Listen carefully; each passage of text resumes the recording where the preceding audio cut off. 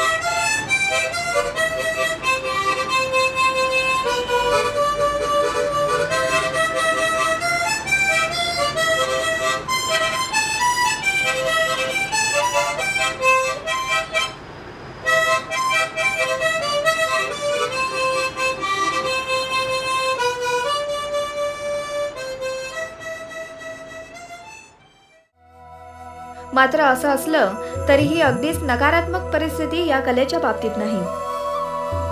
व्यवसायानं architect असणाऱ्या पुण्यातील सत्तर वर्षांच्या एका तरुणाने मात्र माउथ ऑर्गन वादनाची कला गेल्या पन्नास वर्षांपासून अव्याहतपणे जोपासली आहे अशोक कुमार नाईक हे त्या कलाकाराचं नाव.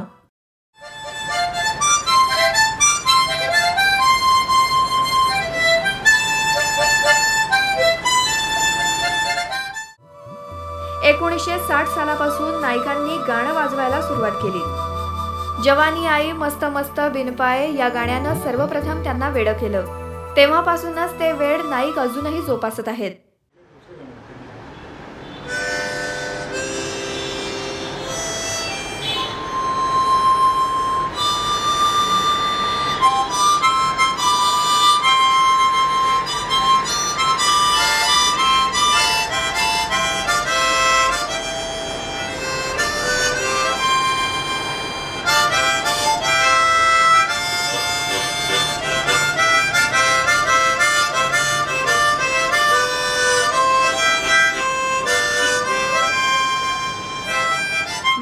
मामाच्या गावाला गेल्यावर माऊथ ऑर्गन कसा चोरावासा वाटला?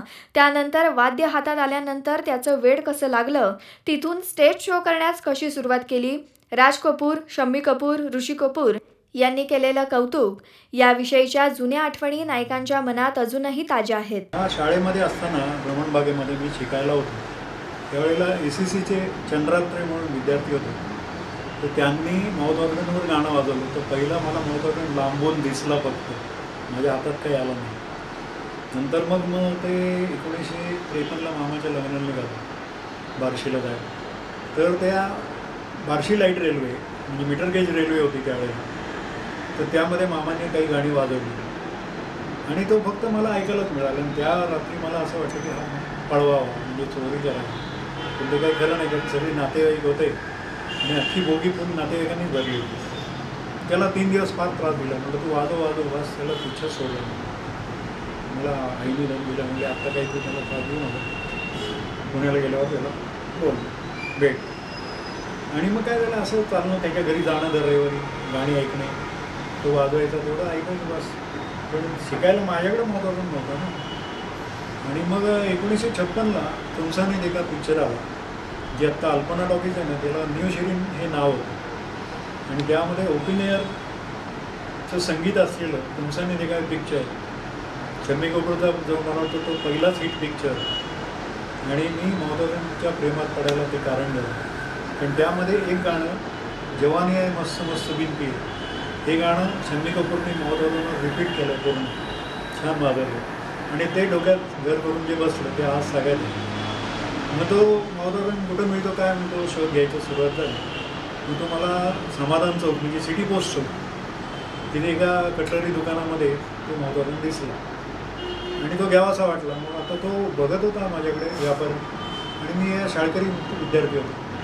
क्या चाहिए आपको असं विचारलं मी. म्हटलं महोदयान कितने काय आहे? लेने काय? हां हाँ काय? जाओ लेके आओ. साडेचार रुपया लेके आओ. मी धावत पळत गेलो. माझे खाऊचे पैसे साठवले होते. पाच साडेपाच रुपये होते. त्याची पाचशे नोट घेतली आणि धावत पळत आलो. म्हणलं कोणी घेऊन जायला नको. पण एकुलता एक.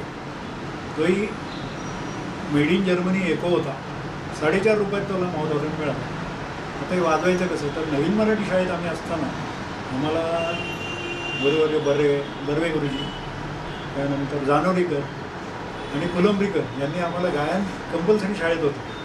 तर ते चौथीपर्यंतच होतं. त्यांनी जे काही शिकवलं होतं चौथीपर्यंत राग भूपर्यंत राग बुक छानपैकी याच्यावर वाचतो महोदयाकडून तर त्यामुळे मी वाजवले. आणि ते मी रिपीट करायचं ठरवलं. आणि हे ते शिकवणारे कोणीच नव्हते. वाद्य मिळत नाही तर शिकवणारे कोण असणार? कोणीच मिळत नव्हतं. आणि इनाम डॅनियल म्हणजे मी त्यांना गुरु मानलं. कारण रेडिओ सिलनवर त्यांनी सकाळी सव्वा सात ते साडेसात त्याची अकॉर्डिंगवर धुवून लागायची ट्यून्स लागायचे. त्या ट्यून्स ऐकल्याशिवाय शाळेत जायचंच नाही. असा एक नियम चालला. होता.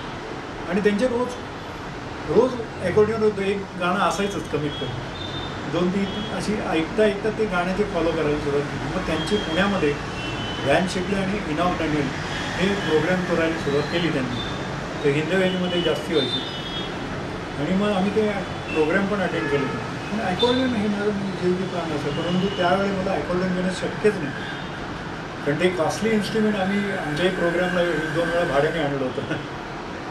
आणि मिळणं मुश्किलच. म्हणून तो मग माउथॉर्गन ते म्हणतात ना मग दुधाची ताकावर तसं ते अकॉर्डियनचं आम्ही माउथॉर्गनवर हे केलं. आणि हा माउथॉर्गन जी मी जी वाजवतो आत्ता ते सगळे अकॉर्डियन स्टाईल माझं प्लेईंग त्याच्यात दोन प्रकार आहेत. एक अकॉर्डियन स्टाईल वाजतो आणि साईड किचचे वाजवणे जे आहे ते तुम्हाला व्हायलिन आणि फ्ल्यूटचं इफेक्ट देतात पण हे जो वाजवलं एकदा मी असं वाजवत येत होतो. मी लॉ कॉलेजच्या रोडला प्रॅक्टिसला जायचो. त्यावेळेला काही एवढी हे नव्हती वस्ती नव्हती. Law college and film institute इकडनं येताना मी हे वाजवत वाजवत यायचे. गुरलक चौकात काही लोक थांबले होते. आणि आत्ता हा जो माझा आहे ना माउथ हा असा मोठा ऑस्ट्रिया होता माझ्याकडे लाईक हा ऑस्ट्रिया म्हणून होता. तर ह्यामध्ये मी वाजवत वाजवत आलो. असा अजून दीडपट होता असा होता एवढा होता. तर याचे तिकडे तीन आणि इकडे तीन असे सहा माउथ ऑर्गन कंबाईंड असलेलं माउथ ऑर्गन आणि तो मी वाजवत येत होतो तर ह्या लोकांना काय वाटलं समबडी इज प्लेईंग अकॉर्डिंग कोणतरी अकॉर्डिंग वाजवत येत आहे. म्हणून ते चौकात थांबले होते. आणि जेव्हा मी जवळ आलो त्यांना लक्षात आलं आणि त्याच्यातच नव्हतं आलो मी. मग त्या चौकात माझा दीड तास कार्यक्रम झाला. सगळी जुनी गाणी वाजवली. सगळ्यांनी ॲप्रिशिएट केलं. कौतुक केलं आणि परत मला दोन तीन ठिकाणी कार्यक्रमाला बोलवलं. माउथ ऑर्गन सर्वप्रथम चीनमध्ये वाजवला गेला. त्यानंतर जर्मनीनं हे वाद्य विकसित केलं आणि त्यानंतर ते बाजारात आणलं. क्रोमोनिका डायटोन ट्रिमेलो असे विविध प्रकार माउथ ऑर्गनमध्ये असतात. हे सर्व प्रकार नाईक यांनी हाताळलेत. त्याबद्दल आजपर्यंत त्यांना विविध पुरस्कारांनी गौरवण्यात आलंय. त्यामध्ये आहे पहिला येतो डायटोन. डायटोन म्हणजे हा हा. याला डायटोन म्हणतात. म्हणजे वर खाली आणि सिंपल हा डायटोन झाला. नंतर मग येतो हा ट्रिमेलो. हा ट्रिमेलोच म्हणतात त्याला सॉरी हा ट्रिमेलो आहे आणि हा डायटोन आहे.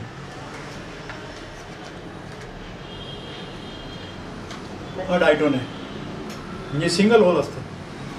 आणि मग क्रोमॉनिकल स्केल हा जर्मनीत आहे. याची किंमत आत्ता जवळजवळ पंचवीस ते तीस हजार रुपये. हा मिळत नाही. म्हणजे ऑर्डर देऊन मागवला तर क्रोमोनिका थ्री याला साईड किती म्हणजे हा ऑपरेट केला. ती स्केल चेंजर होऊन जातो. तुम्हाला स्केल बदलता येतं. पाहिजे ते याच्यामध्ये टीममध्ये एखादा आपल्याला कमी पडतो की घ्या आणि तेही ही कळ दाबण्याची टेक्निक आहे.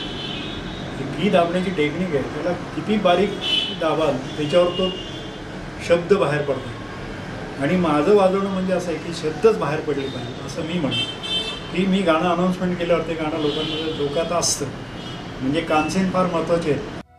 हे वाद्य बाजारात शंभर ते दीडशे रुपयांपासून ते पंचवीस हजार रुपयांपर्यंत मिळतं. माऊथ ऑर्गनच्या जुन्या आठवणीत रमलेले हेच नाईक या वाद्याविषयीची खंतही व्यक्त करतात. हे वाद्य बाजारात सहजासहजी उपलब्ध होत नाही ही त्यांची खंत नाही प्रत्येकानं आयुष्यात एखादा तरी छंद जोपासायला हवाय त्याने ताणतणाव दूर होतात हेही नाईक आवर्जून सांगतात. म्हणजे हे वाद्य आपल्या सगळ्या काळजा दूर टाकतं कुठलंही वाद्य वाजवतं काळजा दूर टाकतं पहिली गोष्ट. आपलं आयुष्य वाढवतो हे फार कमी लोकांना जाणवलं असेल जे वाजवतात. आपण कितीही आधुनिक झालो असलो तरी जुन्या गोष्टींची जपणूक आपल्याकडून होणं गरजेचं आहे. त्यामुळे मागे पडत चाललेल्या कलांचं पुनरुज्जीवन आणि अशा कला जोपासणाऱ्या कलांना प्रोत्साहन देण्याची खरी गरज आहे.